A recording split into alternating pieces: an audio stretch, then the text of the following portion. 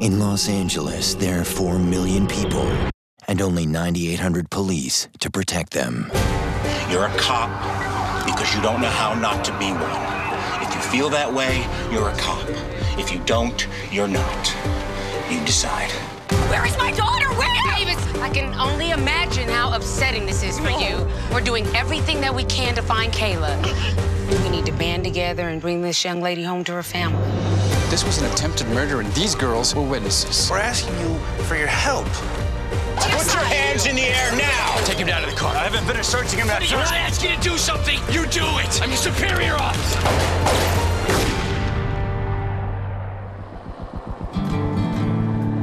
You okay, son? You okay, son? You just tell it like it happened, you'll be fine. No big deal. Taking a life is a big deal to me, okay? Well, I had a dream. I stood beneath an orange sky. In O Dark 30, next time you're up, you will drag your weary, fried ass out of bed, and you will do it all over again because it's a front row seat to the greatest show on earth. Yes, I had a dream. I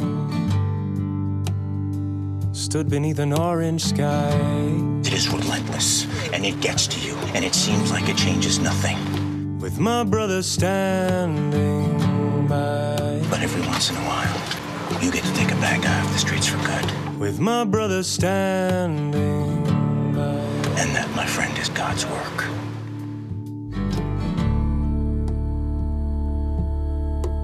You a cop?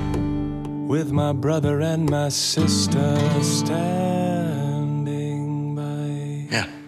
The producer of ER takes you behind the badge. Southland, a new series, Thursday, April 9th on NBC.